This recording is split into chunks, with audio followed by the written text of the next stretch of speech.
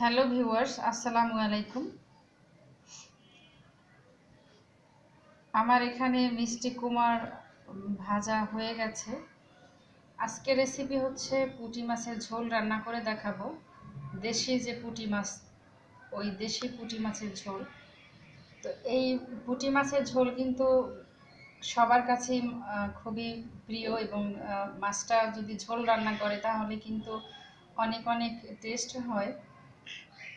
আমার মনে পড়ছে যে আমার আম, যখন বাবার বাড়িতে ছিলাম সেই ছোটবেলার কথা বা বড় যখন হয়েছি তখনকার কথাও বাবা বাজার থেকে যখন একদম টাটকা বড় বাইলা মাছ এবং দেশি পুঁটি মাছ বড় বড় পুঁটি মাছ নিয়ে আসতো তখন কিন্তু আমার মা অনেক সুন্দর করে বাইলা মাছের ঝোল পুঁটি মাছের ঝোল এগুলো রান্না করতো।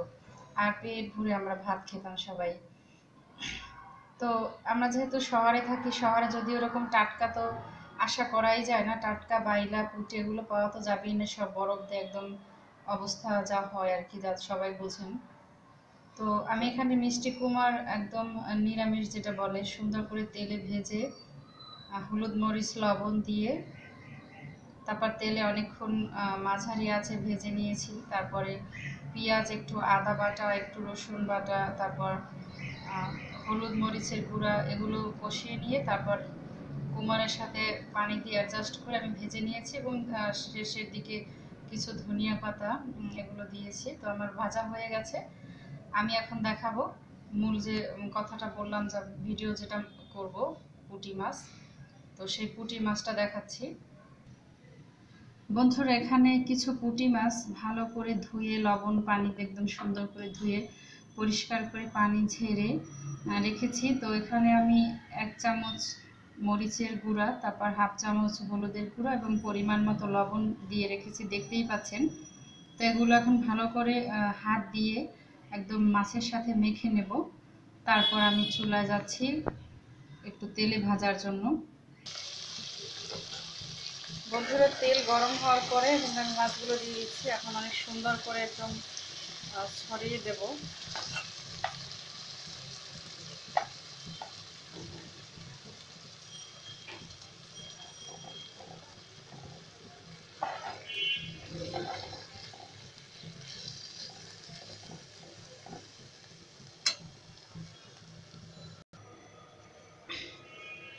সুন্দর করে ছড়িয়ে দিয়েছি। এখন আমি মিডিয়াম টু লো আছে। অল্প করে একটু ভেজে নেব, তারপর একটু উপরে পিঠে নিচে পিঠে দিয়ে ভালো করে ভেজে নিয়ে তারপর উঠিয়ে নেব।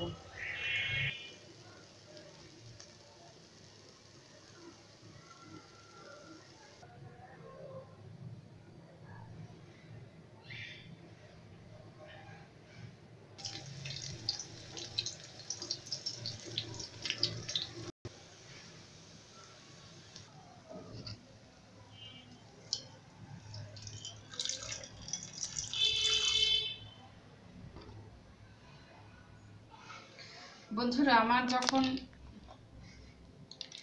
মাছ ভাজাটা হয়ে গেছিল, তখন আমি কড়াই সহ উঠিয়ে নিয়েছিলাম এবং তারপরে আমি অন্য একটা কড়াইয়ে তেল গরম করে তারপর পেঁয়াজ কুচি দিয়েছিলাম। তো পেঁয়াজটা ভেজেছি, আপনাদেরকে কিন্তু আমি দেখিয়ে, দেখিয়েছিলাম।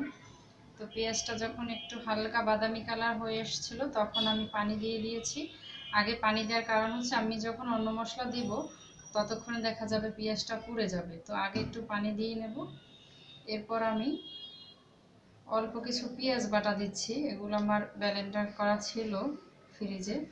তো ওখান থেকে আমি কিছু পেঁয়াজ দিয়ে দিচ্ছি। পেঁয়াজ বাটা দেওয়ার কারণ হচ্ছে ঝোল যেহেতু করব, পুঁটি মাছের ঝোল, তো ঝোলটা একটু গাঢ় হবে। তো আমি পেঁয়াজ দিলাম। তারপর অল্প কিছু আদা দিচ্ছি, সামান্য পরিমাণে আদা। আর রসুন বাটাও দেবো আমি একদমই কম।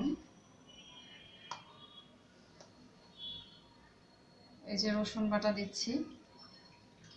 আর এখানে আমি এখন দেব হচ্ছে অল্প একটু মরিচের গুঁড়া, যেহেতু আমি তিনটা কাঁচামরিচ দিয়েছি অলরেডি আর এখন সামান্য পরিমাণে আমি হলুদের গুঁড়া দেব। কালারটা জাস্ট সুন্দর হওয়ার জন্য। যেহেতু আমি পুঁটি মাছের সাথে আমার হলুদ মরিচ কিন্তু লবণ আছে, ওই আন্দাজ করে এখন কম কম দেব। এই যে, এখন আমি পরিমাণ মতো লবণ দিয়ে আমি এটাকে ভালো করে কষিয়ে নেব। আর একটু কাঁচা যে জিরা আমার গুঁড়ো করা আছে, ওখান থেকে অল্প পরিমাণে জিরার গুঁড়ো দিয়ে দেব। বন্ধুরা, কিন্তু আমার মশলাটা কষানো হয়ে গেছে। দেখুন, উপরে কিন্তু তেল উঠে গেছে। এখন আমি এর মধ্যে দেড় কাপ পরিমাণ পানি দিয়ে দেব। তারপরে পানিটা ফুটে আসলে আজকে অবশ্য গরম পানি নেই। তো ঠান্ডা পানি দেবো, পানিটা ফুটে আসার পর আমি মাছগুলো দিয়ে দিচ্ছি।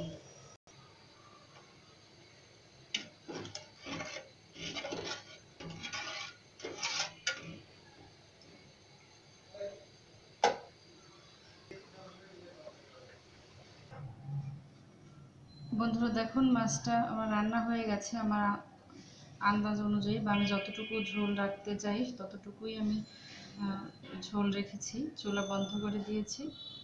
এখন একটা বাটিতে ঢেলে তারপর দেখাচ্ছি, অনেক সুন্দর দেখাচ্ছে কিন্তু, খেতেও খুবই মজা।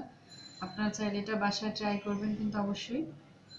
আর এখন যদি সম্পূর্ণ ভিডিওটি ভালো লেগে থাকে, তাহলে অবশ্যই নতুন যারা, তারা চ্যানেলটা সাবস্ক্রাইব করবেন এবং পাশে থাকা বেল আইকনটি প্রেস করে নেবেন, যাতে করে আমি যখনই ভিডিও আপলোড দেব, আপনাদের কাছে সবার আগে পৌঁছাবে সেই ভিডিওটা আর লাইক কমেন্ট এবং শেয়ার করতে কিন্তু মোটেও ভুলবেন না।